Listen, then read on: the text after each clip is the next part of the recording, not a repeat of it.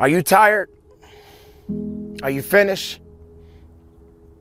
Are you done? These are some of the things that I used to say to myself often. There were times when I just felt that I could not go on. I felt that there was nothing else left for me to give or do. I'd given up on myself. I'd given up on me. I was at the lowest of the lowest. And I felt that I could not go on. I felt that there was nothing left for me to give of who I really was. Because when I got to a point when I felt so weak, I felt there was nothing else left for me to give. But then something happened. Something woke me up. Something made me realize that I had work to do. Do you know how many people have had visions, ideas, and huge career moves that they're about to make, and they allowed the word no to stop them?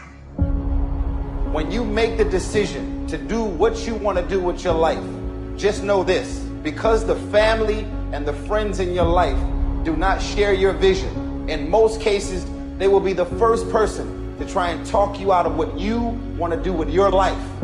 But know this only those that can see the invisible can do the impossible. You have to be relentless. You have to never let off the gas, never stop, never quit. Never allow anyone to talk you out of the dream, the vision, and ideas and understand that for every level there's another devil.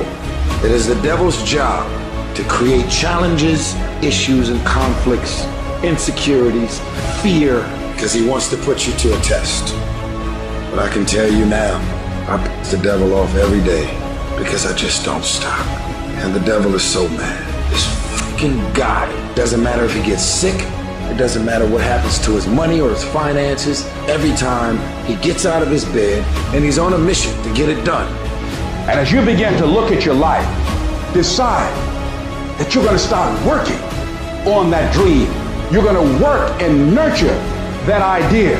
Now, there will be people that will criticize you. There will be people that won't see it for you. But I say to you, don't let nobody turn you around. You don't need anybody to understand it. You don't need anybody to approve you. You don't need anybody to say, go ahead on and do it. If you get that, that's fantastic. If you get that encouragement, that's great.